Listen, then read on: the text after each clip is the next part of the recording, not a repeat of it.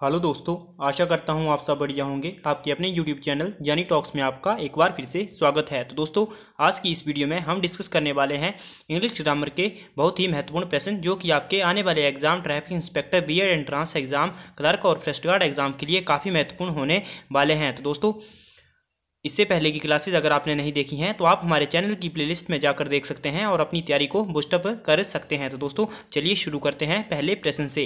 दोस्तों, इन प्रश्नों में आपको बेस्ट एक्सप्रेस द मीनिंग यानी कि आपको सिनोनियम बताना है, ये जो वर्ड दिए हुए हैं, इनका बेस्ट मीनिंग बताना है। दोस्तों, पहला जो वर्ड दिया हुआ है, वो दिया हुआ है टायरेनी टायरेनी टायरेनी का जो अर्थ होता है दोस्तों, वो होता है दोस्तों ऐसे बोल सकते हैं आपको बहुत ही क्रूअल अत्याचारी या फिर अशिष्ट जो अशिष्ट व्यवहार करता है तो इसका जो सही सिनोनिम हो जाएगा दोस्तों, वो हो जाएगा क्रूअल्टी इसका ऑप्शन डी जो है, वो सही हो जाएगा क्रूअल्टी अगला जो प्रश्न है डिलीजेंट दोस्तों आपको डिलीजेंट का सही सिनोनियम बताना है, सही बेस्ट एक्सप्रेस इसका वर्ड बताना है। दोस्तों डिलीजेंट जो होता है डिलीजेंट का अर्थ होता है परिश्रम, परिश्रमी या फिर मेहनती। तो इसका जो ऑप्शन डी है दोस्तों, सही हो जाएगा। इंडस्ट्रियस इंडस्ट्रियस का अर्थ भी होता है दोस्तों, मेहनती या फिर परिश्रमी। और दोस्तों, जो मोडेस्ट होता है, वो आपको पता होगा, इसका अर्थ होता है नम्रता नर्जेटिक तो ऊर्जावान इंटेलिजेंट इसका आपको पता है। अगला प्रश्न है दोस्तों गार्नर तो आपको दोस्तों गार्नर का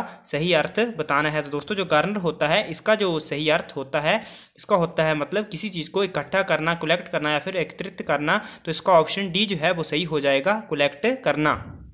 अगला प्रश्न है, आपको पाइवटल का सिनोनियम बताना है। इसका जो सिनोनियम है, वो क्या होगा? तो दोस्तों, जो पाइवटल होता है, वो होता है निर्णायक या फिर महत्वपूर्ण।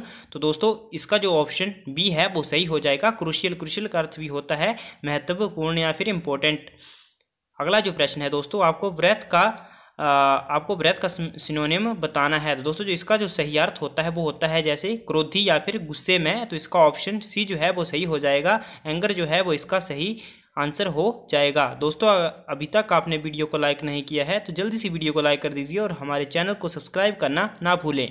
अगला प्रश्न है तो दोस्तों, आगे जो प्रश्न दिए हुए हैं, इनमें आपको सही फिलअप करना है, फिल करने हैं, फिल इन द ब्लैंक।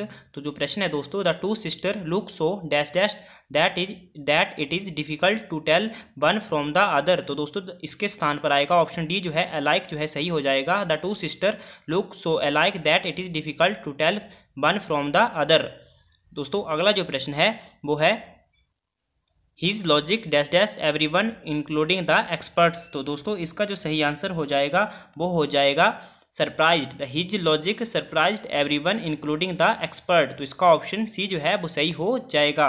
अगला जो प्रश्न है दोस्तों the audience dash dash at the end of the drama तो दोस्तों, इसका जो सही आंसर होगा the audience applauded at the end of the drama applaud का मतलब होता है जैसे प्रशंसा करना तो audience applauded at the end of drama अगला जो प्रश्न है दोस्तों I want to have a dash dash of flats on rental basis तो दोस्तों, इसका जो सही आंसर हो जाएगा I want to have a set of flats on rental basis तो इसका ऑप्शन सी जो है, वो सही हो जाएगा।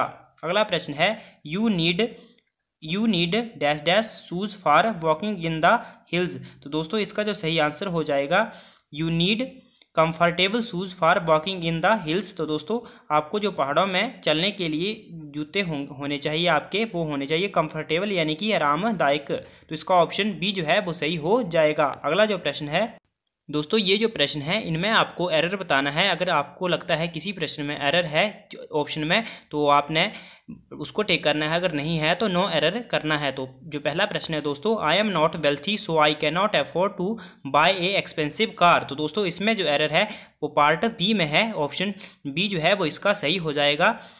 सॉरी ऑप्शन सी जो है, इसका सही हो जाएगा। इसमें एरर है।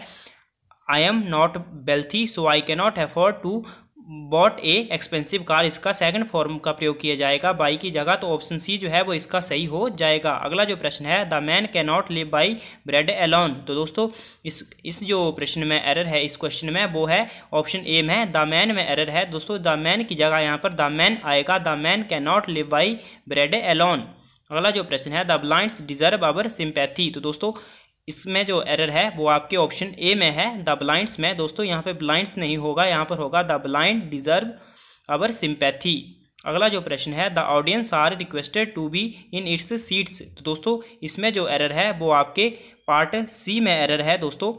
The audience are requested to be in its seat in its seat तो दोस्तों, यहाँ पे सीट नहीं दिया हुआ है तो इसका ऑप्शन सी जो है, वो सही हो जाएगा। अगला जो प्रश्न है they walked beside besides each other in silence तो दोस्तों, इसमें जो एरर है, दोस्तों, वो है ऑप्शन बी में बिसाइड्स ईच अदर यहाँ पर बिसाइड्स का प्रयोग नहीं होगा, यहाँ पे होगा बिसाइड का प्रयोग. वो चुपचाप मेरे बगल में साथ चल रहे थे दोस्तों. बिसाइड का प्रयोग किया जाता है बगल के लिए और जो बिसाइड्स होता है, उसका होता है अतिरिक्त अर्थ होता है. ये प्रपोजिशन से प्रश्न था.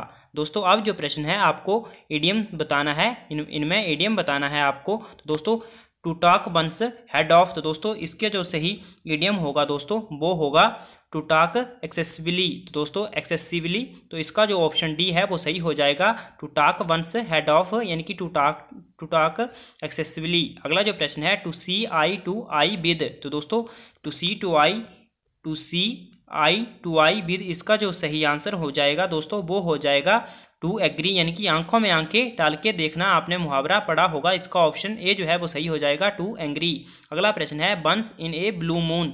तो दोस्तों, इसका जो सही अर्थ हो जाएगा, नहीं, सॉरी, ऑप्शन हो जाएगा, वो हो जाएगा option C, on rare occasion. तो यानी कि दोस्तों, बहुत ही मतलब काफ़ी समय बाद दिखना, यानी कि ऑन रेयर ओकेजन।